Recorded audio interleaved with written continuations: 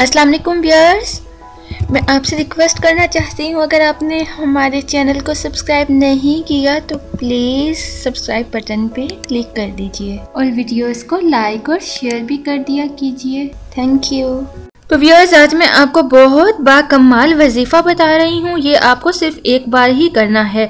आप कोई भी दिन मुकर कर लीजिएगा। किसी भी दिन आप नमाज़ तहजद के बाद अपने अपने वक्त पे पाँचों नमाजें अदा कीजिएगा। जिस दिन आपने नमाज़ तहजद पढ़नी है, उसी दिन आपने ईशा की नमाज़ के बाद दो रकात नफल शुक्राना अदा करने हैं और दो नफल आपने बर्राए हाजात पढ़ने हैं। पढ़ने के बाद आप इन कलमात को सौ मरतबा पढ़िएगा।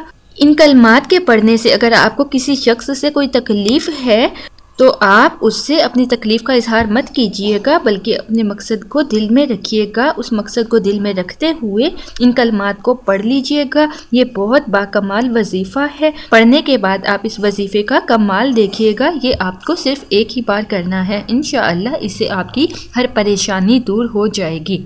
लेकिन यकीन कामिल शर्त है, नमाज़ की पाबंदी ज़रूरी है।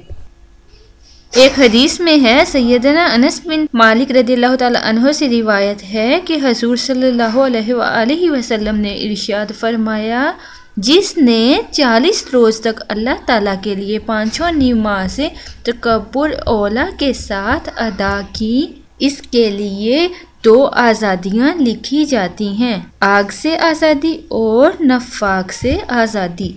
और अगर आपको कोई मसाइल का सामना हो तो आप कमेंट बॉक्स में या व्हाट्सएप, ट्विटर, जीमेल के थ्रू और फेसबुक पेज के थ्रू भी कांटेक्ट कर सकते हैं।